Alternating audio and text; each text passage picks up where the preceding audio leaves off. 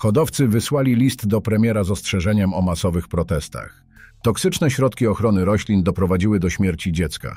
Ministerstwo szykuje zmianę przepisów. Minister Siekierski zdenerwował się na dziennikarza zadającego pytania. Absurdalne oskarżenia za protest rolników. Sprawa w sądzie. Branża mięsna skierowała list do premiera Donalda Tuska, wyrażając sprzeciw wobec umowy handlowej z krajami Mercosur, czyli Brazylią, Argentyną, Urugwajem i Paragwajem. W liście podkreślono, że polscy rolnicy nigdy nie wyrazili zgody na taki układ, a także wyrażono obawy o bezpieczeństwo mięsa importowanego z tych krajów. Sygnatariusze zaznaczają, że umowa może poważnie zaszkodzić polskim sektorom wołowemu i drobiarskiemu.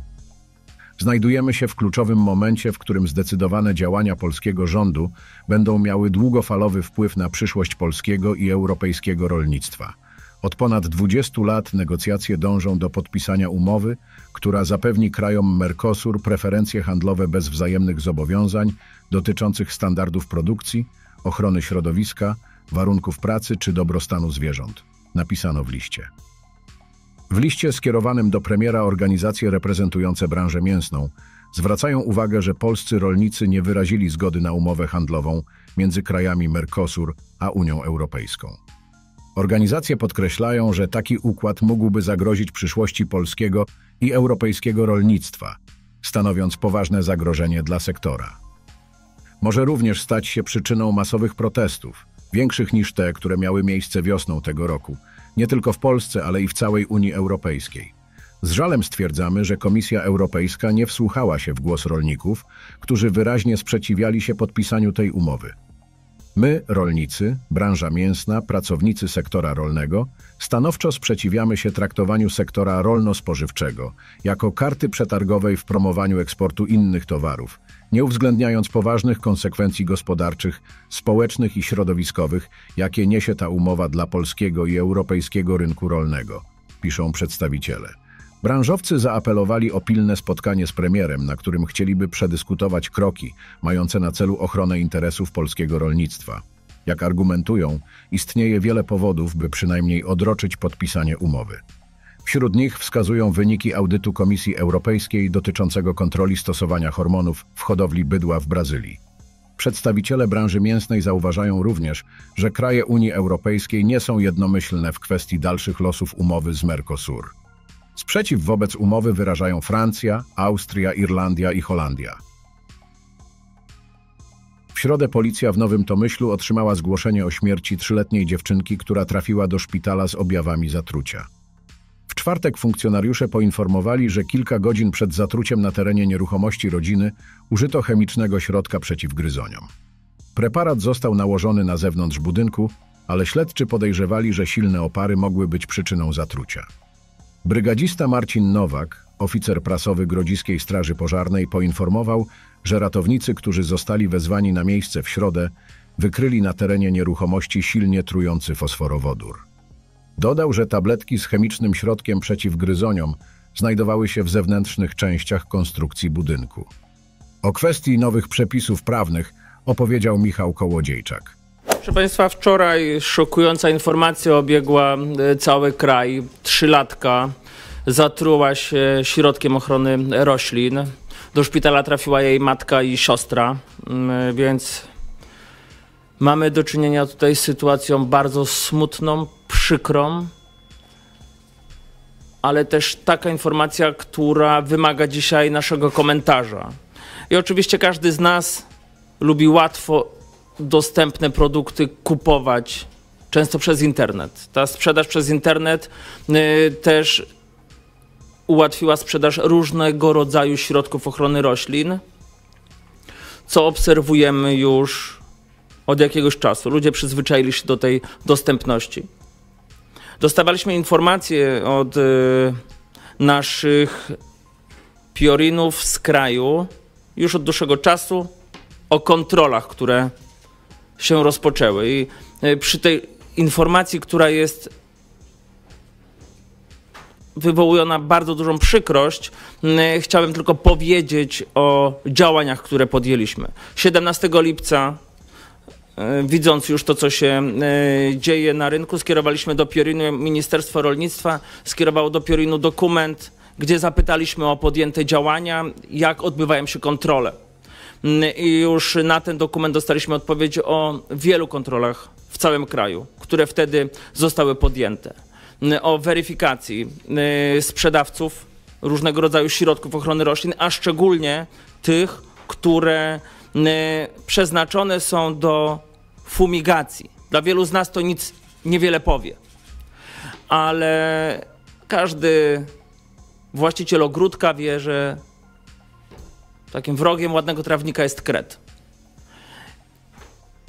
I niektórzy, chcąc pozbyć się kretów, pozbyć się e, tych e, nieładnych kretowin usypanych przez, e, przez te małe zwierzęta, kupują środki, które są przeznaczone tylko i wyłącznie dla profesjonalnych użytkowników, dla tych, którzy są po specjalnych szkoleniach. Jednak mm, dostępność ich łatwa dostępność zwróciła naszą uwagę. Żeby kupić dany środek, trzeba e, być profesjonalnym użytkownikiem. Nie każdy tego przestrzegał. Dlatego już e, kilka miesięcy temu zwróciliśmy na to uwagę i e, mamy e, informację. E, Mamy przygotowaną już e, na dzień dzisiejszy, przed tą tragedią, zmianę przepisów, która e, wskaże na zmiany i utrudni dostępność y, tych najbardziej toksycznych y, środków, y, ale też ta tragedia, tutaj powiem to z pełną odpowiedzialnością, przyspieszy te działania i jeszcze je zaostrzy. Y, W tamtym tygodniu odbyło się w Ministerstwie Rolnictwa spotkanie z pracownikami Piorinu i związkami zawodowymi, które w Piorinie, w Państwowej Inspekcji Ochrony Roślin i Nasiennictwa działają, które są odpowiedzialne za, y, za y, kontrolę, za wprowadzanie y, różnego rodzaju środków i wtedy też poruszyliśmy już ten temat. Już wtedy umówiliśmy się dokładnie Potwierdzona data została 5 listopada. Data spotkania, które odbędzie się w przyszłym tygodniu w Ministerstwie Rolnictwa, gdzie jeszcze zostaną podjęte dodatkowe prace nad wprowadzeniem kolejnych ograniczeń, tak żeby nie było możliwości nabywania y, przez internet tego typu środków, y, które zawierają toksyczną, y, toksyczną, toksyczny związek. Dokładnie tutaj mowa o fosforku glinu. I ja chciałbym zaapelować do wszystkich o wyjątkową ostrożność. Jest duża łatwość w nabywaniu y, różnego rodzaju produktów, ale apeluję do wszystkich, którzy y, chcą y, ich używać. Każdy środek ochrony roślin zawiera etykietę, zawiera dokładne wytyczne, które wskazują na nie, na niestosowanie tych środków przez osoby, które nie są do tego przeszkolone i uprawnione. Większość z nas nie jest, którzy mają trawniki, którzy mają ogródki. Mm, I tutaj warto, e, warto się do tego zastosować. Zostało przeprowadzonych bardzo dużo kontroli od wiosny y, tego roku i y, będziemy podejmować jeszcze kolejne działania, które y, będą wychodzić naprzeciw oczekiwaniom i naprzeciw bezpie, bezpieczeństwu. Dziękuję bardzo. Na konferencji głos zabrał także minister Siekierski w sprawie pomocy dla poszkodowanych przez powódź rolników. To mogę prosić pana ministra o odpowiedź? Ale niech pan skończy całe pytania. No, na początku o te wnioski. Gdzie rolnik musi złożyć wniosek, żeby uzyskać wsparcie? Państwa, rolnicy wiedzą, gdzie mają składać wnioski, składają drogą elektroniczną do Agencji Restrukturyzacji, także tu się nic nie zmienia. E, e, Rolnicy posiadają e, te informacje i wiedzę z tego zakresu. Wsparcie, na, na czym polega to wsparcie dla rolników dotkniętych powodzią? Myśmy mówili o tym y, i rolnicy wiedzą, jakie wsparcie mogą otrzymać, y, do o jakiej kwoty. Y, To wszystko było przedmiotem naszych spotkań, spotkań ludzi, ośrodków doradztwa rolniczego, wojewodów. Wiem, tylko, że to po prostu nie padło na konferencji, dokładna kwota. Chciałbym zapytać o tą A niech kwotę wsparcia. głośniej. Y, Chciałbym zapytać o tą kwotę wsparcia, ponieważ to nie padło na konferencji. Ja rozumiem, że rolnicy kwo- to wiedzą, mamy ale kwo- kwotę wsparcia, e, i, e, która zakłada, że pokryjemy wszystkie oczekiwania, jeśli chodzi o straty poniesione w, w niezebranych plonach, e, które zostały zalane wodą powodziową. Dziennikarz zadawał konkretne pytania, a minister rolnictwa wydawał się coraz bardziej poirytowany. Czy są już e, szacunkowe e, liczby, e, ile, jakie są straty na terenach dotkniętych powodzią? Czy już znane są te, te liczby? Pana, mamy kwoty określone, jakie są, jeśli chodzi o finansowanie do hektara. I mamy to zbilansowane tak w skali y, y, także obszarów zalanych y, na terenach dotkniętych klęską powodziową, ale to, to ta informacja ona y, y, nie, nie będzie do, wtedy wyliczona, kiedy będą wszystkie wnioski od rolników.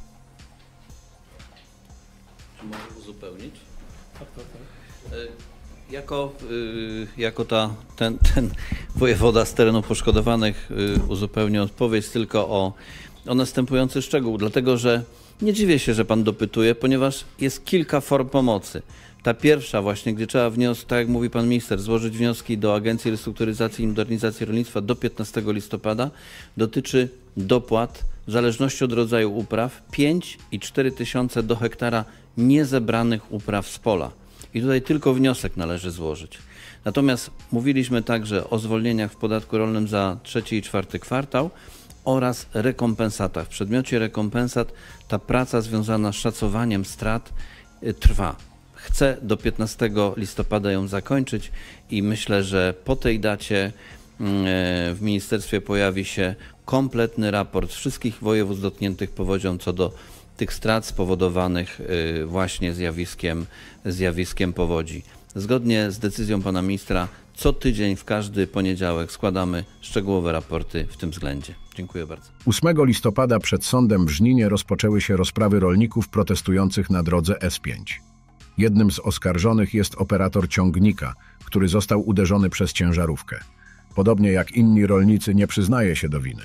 Podczas protestu policja nie zgłaszała żadnych zastrzeżeń, powiedział w sądzie. Procesy dotyczą protestu rolników, który miał miejsce w marcu na drodze ekspresowej niedaleko Rogowa w powiecie żnińskim. Policja z komisariatu w Janowcu Wielkopolskim zarzuca uczestnikom protestu naruszenie artykułu 97 kodeksu wykroczeń oraz przepisów ustawy o ruchu drogowym. Podczas protestu doszło do poważnego wypadku, kiedy ciężarówka wjechała w kolumnę ciągników, niszcząc jeden z nich i uszkadzając kilka kolejnych. Jak relacjonują protestujący, tylko szczęśliwy zbieg okoliczności sprawił, że w wypadku nie było ofiar. Protest odbywał się na obu nitkach drogi ekspresowej. Na pasie w kierunku Gniezna zepsuł się jeden z samochodów, a protestujący poszli tam, aby pomóc koledze. Dzięki temu nie byli obecni przy traktorach, w które wjechała ciężarówka. Do staranowania ciągników doszło przed godziną pierwszą w nocy. Policja przeprowadziła czynności i zbadała trzeźwość uczestników protestu, a wyniki pomiarów były negatywne. Nie udało się jednak ustalić, kto był sprawcą wypadku, a te kwestie miał rozstrzygnąć sąd. Choć sprawa jeszcze się nie rozpoczęła, protestujący rolnicy zaczęli po kilku miesiącach otrzymywać wezwania na policję w celu złożenia wyjaśnień. Policja z Janowca Wielkopolskiego skierowała wnioski o ukaranie rolników. Zgodnie z tym przepisem osoby łamiące przepisy ustawy o ruchu drogowym podlegają karze grzywny do 3000 złotych. Policja powołała się na zapisy drogowe, które zabraniają poruszania się traktorom po drogach ekspresowych oraz parkowania na nich. We wrześniu sąd w postępowaniu nakazowym ukarał protestujących grzywnymi w wysokości 500 zł. Rolnicy odwołali się od tych kar, co doprowadziło do rozpoczęcia rozpraw w sądzie rejonowym w Żninie. Jako pierwsza odbyła się rozprawa, w której oskarżonym był Mateusz Dąbrowski, operator ciągnika, który został zmiażdżony na drodze. Oskarżony nie przyznał się do winy. Przed Sądem Rejonowym w Żlinie z nami grupa rolników, która 20 marca protestowała na trasie S5 niedaleko e, stąd. E, Jesteście już e, wy po przesłuchaniu, e, po pierwszej rozprawie. Jak ta rozprawa wyglądała, o co sąd pytał? Są właśnie takie, podobnie jak policja pytał, kto zezwolił na wjazd na Eskę, jak to wyglądało, czy byliśmy świadomi wjazdu na Eskę, o przebieg tego. No, Głównie na tym te pytania się opierały. Czy zapadł już wyrok, czy ta sprawa dalej będzie się ciągnęła? Sprawa będzie ciągnęła się dalej, oczywiście nikt do winy się nie przyznał, co będziemy bronić do końca swojego. Dlaczego nie przyznaliście się do winy? No łatwiej byłoby przyjąć te 500 złotowe e, grzywny, które sąd wydał w postępowaniu nakazowym, e, jednak postanowiliście walczyć e, honorowo.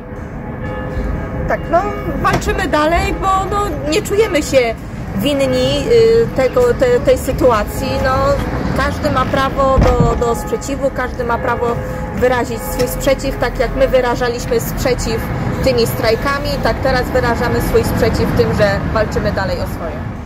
Sąd poinformował oskarżonych, że mają prawo do składania wyjaśnień, odpowiadania na pytania sądu i oskarżenia, bądź do odmowy składania wyjaśnień.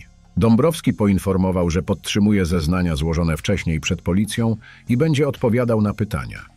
Wyjaśnił, że brał udział w proteście, który został zgłoszony, a rolnicy mieli zgodę na wjazd na drogę ekspresową. Zaznaczył, że na miejscu była policja, która nie ukarała żadnego rolnika za wjazd na drogę ekspresową. Sąd zadawał oskarżonemu rolnikowi szczegółowe pytania, mające na celu wyjaśnienie okoliczności protestu. Pytania dotyczyły m.in. tego, czy wiedział, kto był organizatorem protestu, skąd dowiedział się o jego miejscu oraz czy protestujący zostali poinformowani o planowanym przebiegu protestu i zasadach zachowania. Sąd pytał również, czy na miejscu był ktoś, kto koordynował protest i wydawał instrukcje uczestnikom. Kolejne pytania dotyczyły obecności policji oraz sposobu zabezpieczenia protestu.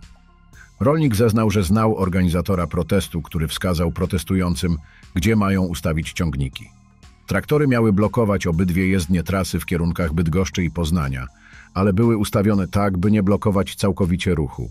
Część pojazdów stała na pasie zieleni, a część na pasie awaryjnym, pozostawiając środek drogi przejezdnym dla służb i pojazdów uprzywilejowanych. Środek drogi był zaplanowany w taki sposób, by umożliwić przejazd służbom ratunkowym, a ciągniki były ustawione na odcinku między zjazdami, który kończył się rondem. Samochody poruszające się po trasie były kierowane na zjazd prowadzący do ronda, skąd można było wjechać na wjazd, który omijał blokadę. Rolnik dodał, że na trasie nie widział żadnej obecności policji ani radiowozów między ciągnikami, jednak funkcjonariusze byli obecni przy rondach, na wjazdach i zjazdach z trasy. Ciągnik, którym przyjechał Michał Dąbrowski, był dobrze oznakowany i oświetlony, włączona była lampa robocza oraz światła awaryjne. Takie samo oznakowanie świetlne miały również inne traktory, które stały w pobliżu. W momencie wypadku rolnicy nie znajdowali się przy swoich ciągnikach. Zeszli na przeciwległy pas ruchu, by pomóc w naprawie samochodu, który się zepsuł i blokował ruch. Tuż przed wypadkiem nie było słychać żadnych dźwięków, takich jak pisk opon. Dopiero po chwili rolnicy usłyszeli trzask uderzającej ciężarówki oraz pisk opon pchanego ciągnika, którym kierował oskarżony. Na miejscu zdarzenia nie znaleźli śladów hamowania. Sprawdzili stan kierowcy, jednak początkowo kontakt z nim był trudny. Ostatecznie nie był w stanie wyjaśnić, jak doszło do wypadku. Rolnik zauważył, że kierowca mógł zasnąć. Sędzia zapytał rolnika, czy ktoś nawoływał do rozwiązania zgromadzenia, ponieważ mogło być ono nielegalne. Rolnik odpowiedział, że nie było takiej prośby ani interwencji ze strony policji. Nie stwierdzono też żadnych wykroczeń. Oskarżyciel z komisariatu w Janowcu Wielkopolskim poruszył jedynie jedno zagadnienie, pytając rolnika, czy wiedział, że zgodnie z zgłoszeniem do Urzędu Gminy w Rogowie oficjalnym miejscem protestu były ronda na zjazdach z trasy, a nie główne jezdnie drogi ekspresowej. Rolnik wyjaśnił, że organizator poinformował protestujących, aby wjechali na rondach na trasie między wjazdami i zjazdami, by nie utrudniać całkowicie ruchu. E, Adwokat Katarzyna Kowalczyk, reprezentuje e, rolników protestujących w Krajowej A5.